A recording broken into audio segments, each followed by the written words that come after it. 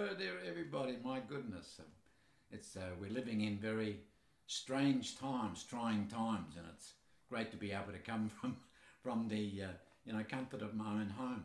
In a few days, it's going to be Anzac Day, and so I'd like to talk to you a little bit about our Anzac forefathers. First of all, what could we learn from our Anzac forefathers? What could they possibly teach us today? You know, you can go anywhere you like in this country, and I guarantee you, no matter the largest city to the smallest town, and there somewhere there'll be an Anzac monument. And on Anzac Day, maybe not this year, but normally there'll be an Anzac service.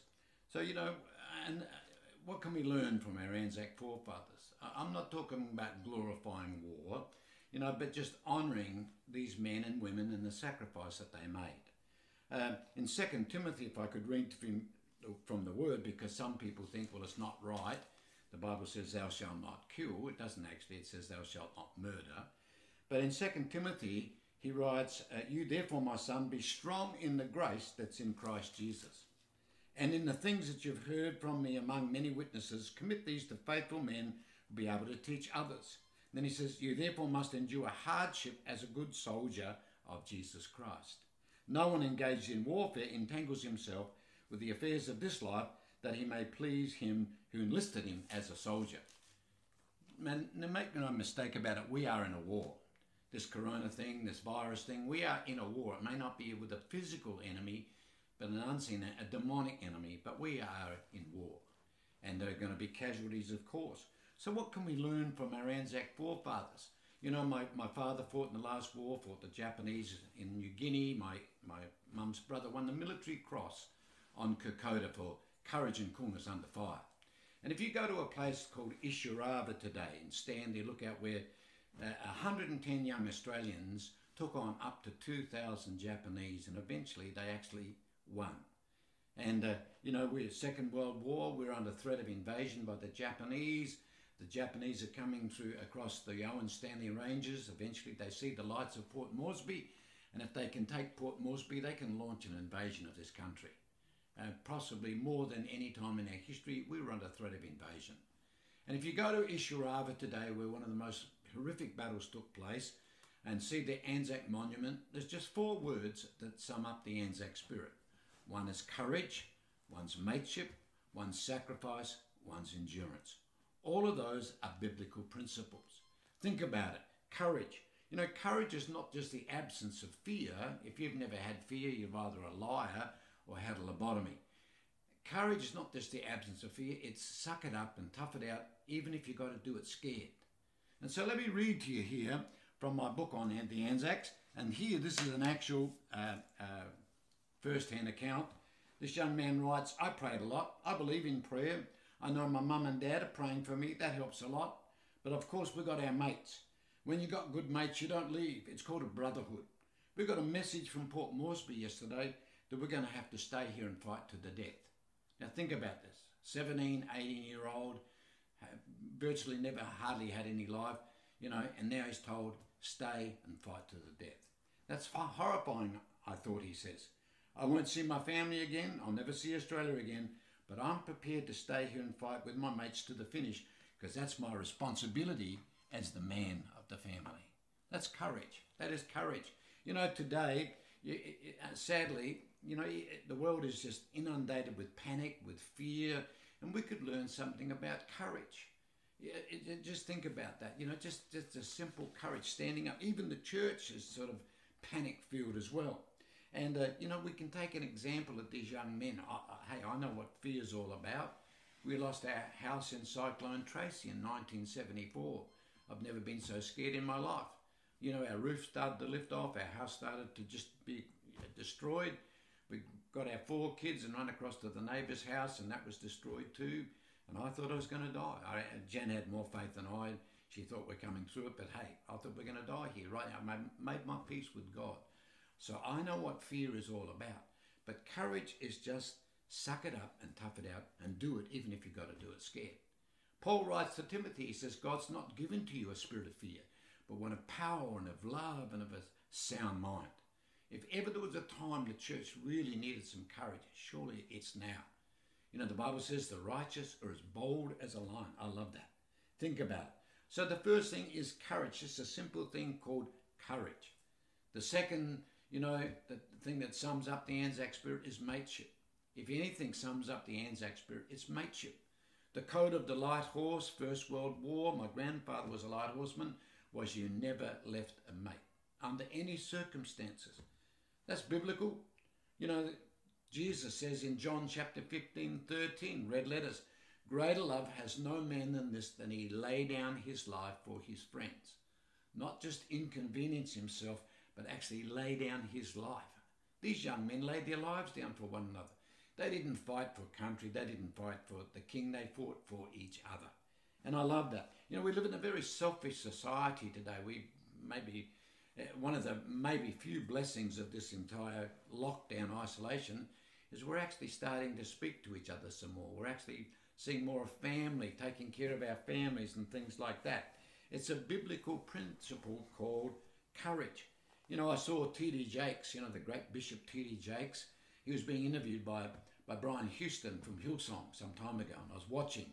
At the end of the service, Brian asked him, he said, Bishop, what would you like to be remembered for? Biggest church, best preacher, front cover of Time magazine? I thought this would be good. And Bishop T.D. Jakes leaned over and he said, Brian, I'd like to be remembered as a loyal friend in an age of relationship deficits. So we can learn something from our forefathers, uh, truly about mateship, never leaving your mates. You know, First World War, Light Horse. I did the book on the 800 Horsemen. I interviewed one old fellow. He said he, I, he saw his best friend shot off his horse. He said, against direct orders, I could be court-martialed. He said, I spun my horse around and galloped back. Everybody's going past. Bullets are going over my head, smoke, gunpowder. He said, I galloped up and I see somebody laying on the ground. I galloped up and grabbed him by the belt and swung him up behind my horse and galloped back. And he said, when the dust settled, he said, I realised I picked up a Turk by mistake. So I hit him on the head with my gun butt and went back to find my mate again. Do you have a mate like that? If you don't have a mate like that, you need to be a mate like that. You know, as I say here, the Bible also says we don't have friends because we don't show ourselves friendly. We live in societies and streets where we build big, great big walls. We don't even know our neighbours. We want to go to Afghanistan and India to minister. We don't even know half our neighbours in the street. And I believe that we can learn this from our, our, our Anzac forefathers. Man, just think about that. You know, mateship, we don't even know what the meaning is anymore. It's hijacked by the media, by the politicians. It's a biblical principle. You know, you'll find Paul writes about Onesiphorus. He writes about, uh, I can't think of the other one's name, Onesiphorus, and it'll come to me in a minute. But he talks about, he says, you know, everybody else has left me. Everybody else, he says, has left me. But only Onesiphorus has stayed with me.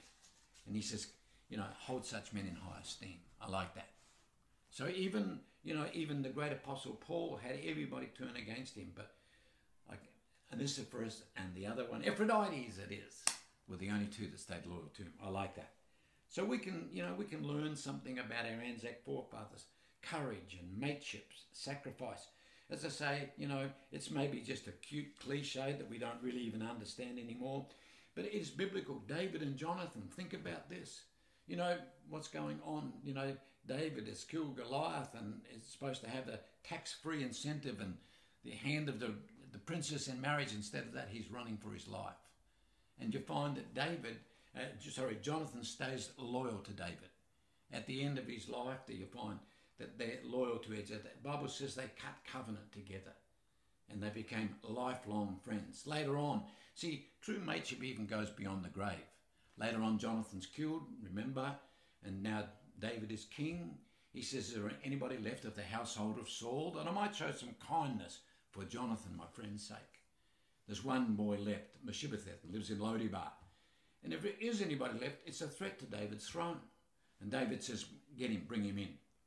So Mephibosheth thinks he's going to be killed, but he brings him in and David says, I'll restore everything you've, you've lost. Your fortune, your land. You'll put your feet under my table, which means I'll treat you like my son. All of this, not because of who you are, but because of my love for your father, Jonathan. Now that's mateship, biblical mateship. It's the basis of our society. It's what holds our whole society together. Unfortunately, in these last days, we're going to see betrayal as we've never seen before. Betrayal of friends. You know, there's no betrayal like a betrayal of friends. So think about that. It's not just mere acquaintances. You know, you might have many. Here's another gem. You know, you might have lots and lots of acquaintances, but if you have more than five true friends in your lifetime, you're doing real, real well. You know, not just acquaintances. That's just anybody, but true loyal friends. Value those friendships. What can we learn from our Anzac forefathers? Courage.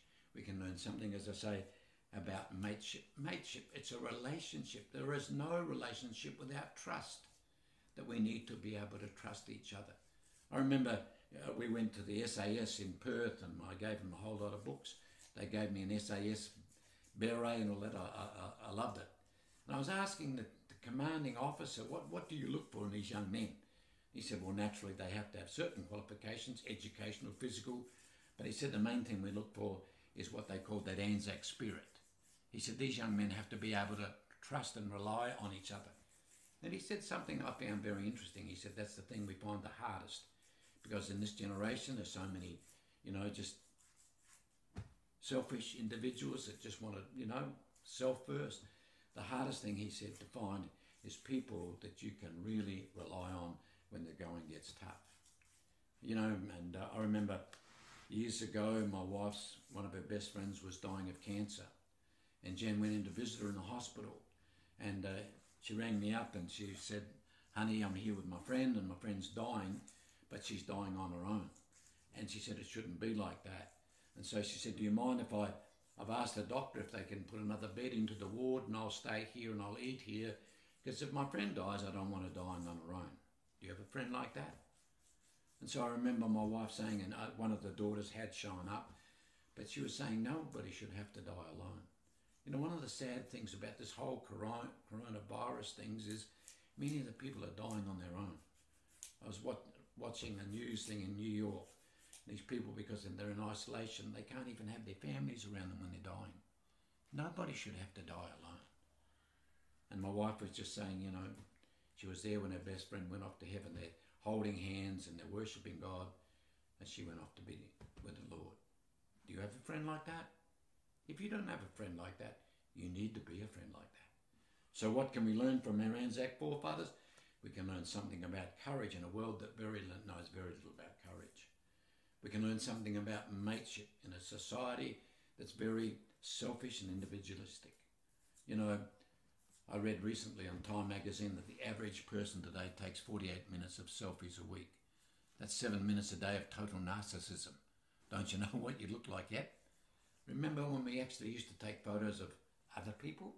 Anyway, you know, I'm talking to a camera here and my wife, so that's my that's my congregation at the moment. But I'm talking to you people out there.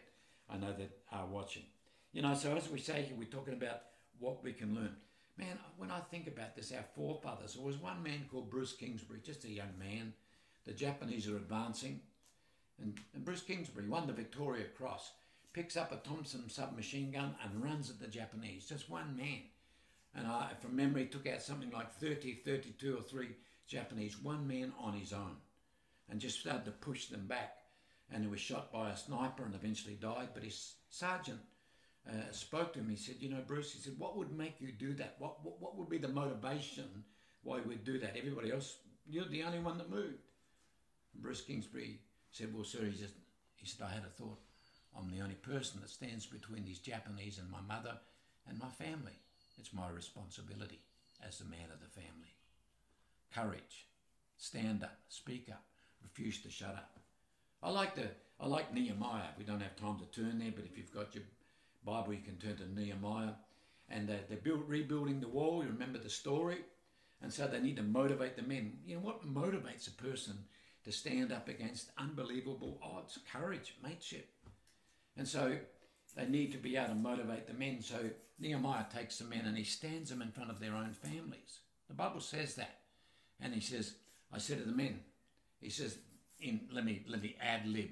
Whether we live, whether we die, whether we win, whether we lose, depends on not whether you got the guts to fight. And if you won't fight for any other reason, then fight for your sons and your daughters. If ever there was a word for the church, I believe that's it. Nehemiah chapter 4, around about verse uh, 16 somewhere. Look it up for yourself. He stands them in front of their own families. Isn't that interesting? You know, the Bible talks about that. If a man doesn't provide for his own family, he's worse than an infidel. Think about it. New Testament, that word provide is the Greek word pronoia, which means, yes, it means to food and clothes, but it also means to lay down your life. So it's a biblical instruction. Courage. We're going to need some courage in these last days, let me tell you right now. I believe with all my heart. We're going to need some courage. We're going to need some men and women. And sadly, it's more often the women that have got the courage than the men. You know, as we say, we're looking here and at the Anzac monument in Isurava, those four words courage, mateship, sacrifice is an interesting word, sacrifice. I did a book on an Anzac chaplain called William Mackenzie, Fighting Mackenzie. What an awesome man. Won the Military Cross. Served four years in frontline trenches, was wounded, buried alive, led three and a half thousand young men to the Lord in combat. And I, I, I love it. You know, one story there, he's just talking about, you know, laying down his life for these young men. Man, uh, uh, just awesome. They, they're, they're in the, the trenches on Lone Pine. The first two waves have gone over and been shot down, if you know the story. Mackenzie's in the front line, just praying and witnessing to the men. The commanding officer comes up and says, Chaplain, you're not even supposed to be in the front line, get out. Mackenzie, six foot five, stands up to his full height and he says, Sir, I'm not a rebellious person, but sometimes you've got to answer to a higher authority and you're not it. I'd follow a man like that. What an awesome bloke. He turned to the young men, he says, I've lived with you, I've eaten with you, I've prayed with you, and I'm not afraid to die with you. And when the whistle blows and you go over the top, I'll be right alongside of you. He's in his mid 40s. What would that mean to a 16, 17 year old boy that's never been off a farm in his life? To have a man stand alongside of him as a father figure to him. It's called sacrifice. Courage, mateship, sacrifice. And the other thing is simply endurance. You know, and I believe in these last days, it's going to take some endurance. It's going to take some sacrifice. You know, there's so much there that we can learn. As I say, that William Mackenzie, I actually sent my book to uh, to Russell Crowe. I said this man would make Indiana Jones look like a wimp, and I just thought he might make a movie of it, but I never ever heard anything back. What an amazing man, though. Three thousand, three and a half thousand men, young men he led to the Lord in combat. when he came home to Australia, 50,000 diggers turned out to welcome him. He was the second most popular man in this country to Prime Minister Billy Hughes. There probably wouldn't be a handful of people in this country even know what I'm talking about. A couple of years ago, I went back to uh, Bundaberg, where he had been a stockman, where he got saved in the Salvation Army Church. And uh, they've got a, a monument there to Bert Hinkler, which is great, the flyer. But there's nothing whatsoever for William Mackenzie. And I actually said to the mayor, I said, you know what? I said, it's really a disservice that you did this awesome man. There's not any recognition for him whatsoever. At least there should be a monument to this young man. I just hope that they've done something since. So, you know, the more that I think about that learning from our forefathers, our Anzac forefathers, let me read you here again. This is the attitude that these young men had. He writes, I emphatically believe in looking after number one. But number one's not yourself, it's your best mate. The feeling mateship gives you when you're at the bottom of the barrel and along comes those mate of those mates of yours. Often they don't say anything, they just sit there with you. It's like a husband and wife holding hands on one another's deathbeds. In the times of crisis, words aren't necessary. It's just being there. In this day, you know, the days we live in now with the crisis, and it's certainly not going to end all that quickly, I don't think. We need each other possibly more than ever. And something we can learn, not glorifying war, but looking back and giving honour where honour's due to our forefathers. Those Anzacs, young men and women that laid their lives down for you and I so we would live in absolute peace now. And if you go to Isurava and stand on that, on that bloody battlefield and look at that monument, it simply says courage, mateship, sacrifice, and endurance. Hey, and I believe we can learn from that. God bless.